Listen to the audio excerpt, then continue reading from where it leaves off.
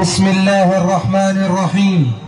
ونرفع الذين أوتوا العلم درجات السلام عليكم إخوتي وأخواتي طلبة الجامعات والكليات الشرفاء. أيها الطلبة الأعزاء رجوعكم دون تخطيط سوف يعقد القضية وتكونون ضحية امتحانات خلال شهر واحد إخوتكم في الجنوب يقولون لكم سيكون هناك آلية للرجوع تناسبكم وتناسبنا. ولن يكون فيها ضغط على كاهل الطالب. ما عليكم سوى توحيد كلمتكم معنا لأنكم طاقات المستقبل.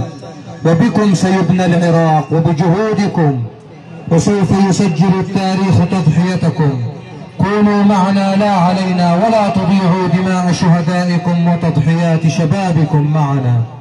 كطلبة جامعات واستمراركم خلال شهر واحد وإن اضطر الأمر إلى حين تحقيق المطالب في الاعتصام هو من سيحدث التغيير. ولا تخافوا تهديد من يريد أن يحبط عزيمتكم بأي شيء كان فأنتم طاقات المستقبل وسنسجل كل مواقف عمادات الكليات والجامعات الحكومية ومستثمري الجامعات الأهلية إن كانت سلبية أو إيجابية وإما أن يكونوا لنا هونا وإما يكونوا كالطبقة السياسية الفاسدة.